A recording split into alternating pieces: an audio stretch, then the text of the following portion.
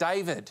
Tom, good evening. Shane Warne is your expert subject. Uh, why are you a fan? Is it his off-field antics or his cricket? He's a sporting Icarus that sometimes flies too close to the sun.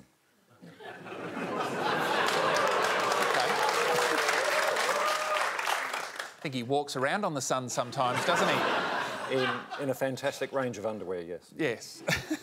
well, being a fan of his cricket, how do you cope with his off-field behaviour? Does it annoy you or you just don't pay attention to it? Uh, he's a flawed genius on some levels, but basically he's just another bloke who can't keep his pants zipped. Have you met him? I've seen him in action. I was this close to him once in uh, South Africa, but I haven't actually met him. Okay, what, what is that? This close, what is that?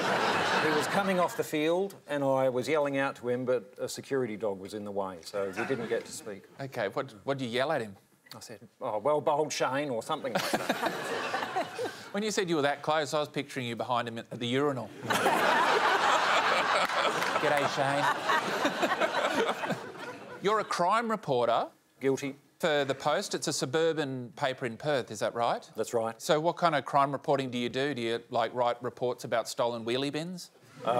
Teenagers driving unlicensed vehicles, Tom. Oh, hoons. Hoons. Yeah. Uh, often after 9 pm. Uh, unregistered dogs. Yeah, oh, There's a lot of that about. yeah, unregistered. Um, everything from A to B, really, and back right. again.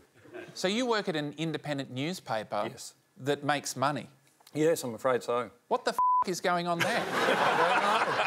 We're the last newspaper in the country that's not owned by Rupert Murdoch or Kerry Stokes. I don't know what.